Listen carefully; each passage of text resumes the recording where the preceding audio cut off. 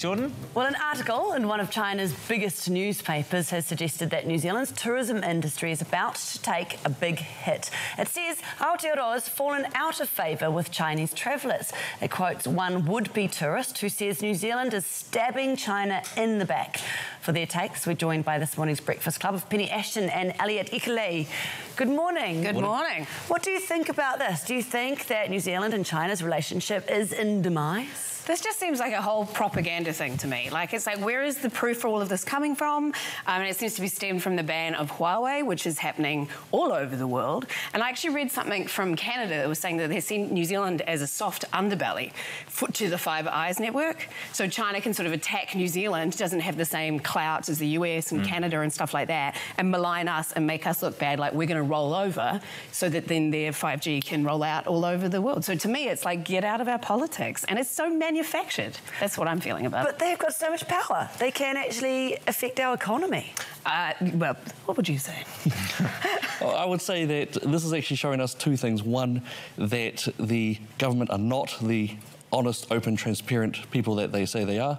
Uh, and it also shows that they really don't understand the Chinese government mindset as well.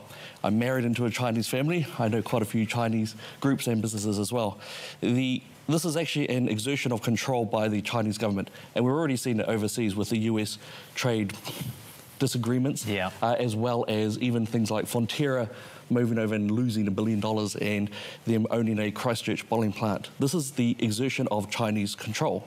It, so they're what doing what they're doing what they would have always done, which is to gain control over anything. You look over in the Pacific Islands; they are throwing money all over the place. Mm. mm. They are seeking to have those loans being paid back, and when they are not paying paid, that's when they are taking control of various elements of that area. So what do you think fishing rights, trade routes, and everything like should that? Should do as you know, like because would National mm. not have done the same thing with the banning of? Oh, I, do, I actually agree. I think so, yeah, that so. we should not have had Huawei uh, engaged in that.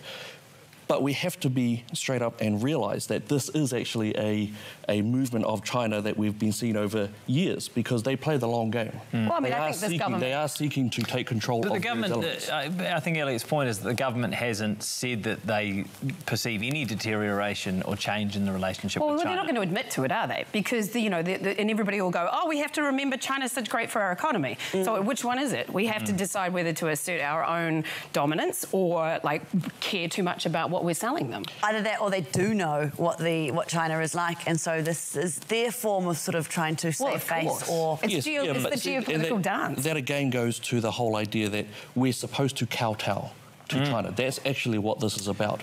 And if we do that, then we, we open ourselves up to more.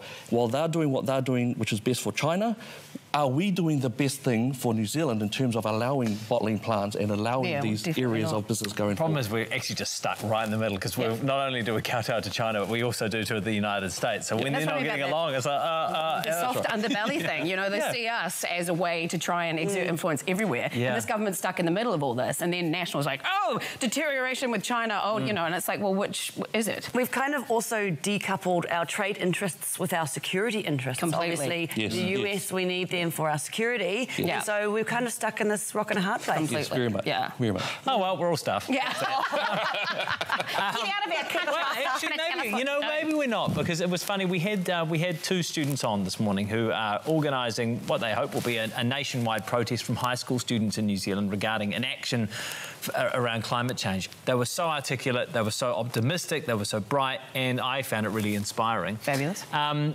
when I was in school, there was a strike in high school an impromptu strike against teacher strikes. So the students thought that they were strike Brilliant. against the teachers striking by striking. uh, I didn't do it because I was a goody good. Yeah. And uh, but, but, no, heaps of I know, right?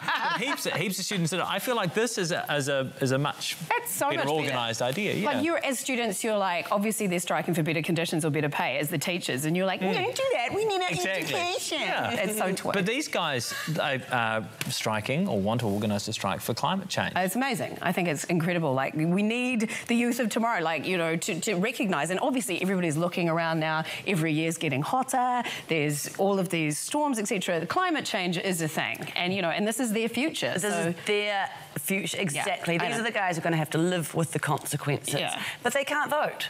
So, I mean, Yeah. this is the, like, they're stuck, and I guess this is their mm. only way to, to But- make some noise. Mm. Well, I mean, I think there's a couple of elements there. And one is the wonderful inclusion into the community, so they are engaging in the process that we allow, which is protesting. That's awesome. I'm sure Labour actually really love it because it assists their own ideas of loving strike so much. I, I would say also, it might be also quite good to have, have the students also look at other elements. For example, climate change, great.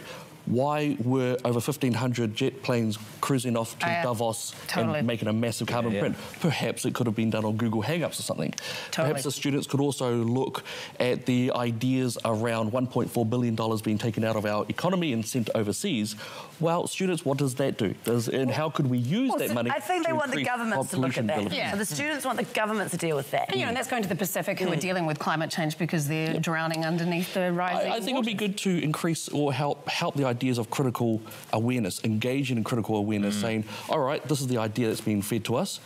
Let's have a look at it. Is it And correct, not correct? What, what, is? they're doing. Yeah. isn't? Yeah. What- They're taking. I read one 12-year-old was like, "I've taken it upon myself to educate myself." Like this incredibly articulate Yeah. 12-year-old, you know. So that's very. Uh, I generally feel extremely pessimistic about climate change. I Just like I, ha- I have often queried whether our species has the capacity to actually When you look at how to much sort it species out likes to because kill we, each we're so other. well, we're just so sh- we, we think about things in such short terms, Yeah. short periods. You know? Election like- cycles as well. exactly Also, right. We're also tied to a growth model. Yeah, which is yeah. unsustainable. I know so- exactly. It's like, Again, why do we keep also- having to have profit all the Don't forget that the largest climate change areas, or the ones who are who are engaged in a lot of this, it's pulling a lot of people out of poverty. For example, India and China. Yeah. If we're talking about that, Yeah. they need those materials in order to make the products that they are able Yeah. to lift themselves out of Yeah, deep and, poverty. and the West has benefited from 50 years, a 50 year head start. Yeah, exactly. They've cashed in. Yeah. So it's all good for us to criticise it, but I, So get, right, you know, absolutely. yeah. But something has to happen, and it needs to come from government. Um, Lime scooters slash e scooters. Wellington's finally allowing them or having a trial of them.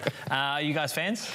I am, but I just hate how a certain group always ruins it for everyone. you know, like I've seen people going down Victoria Street, which is quite steep, no helmet in the middle of the road. You know, it's just like just stopping, like all down Broadwin Street, stopping dicks people because they are actually awesome. You know, I really think I hate the way people just park them willy nilly, but they're great. Like my husband actually, his e-bike was getting fixed, so he's limed to pick up his e-bike. Oh, wow. Peak 2019. You guys are 2019. so woke. I know. I cycled here today, in fact.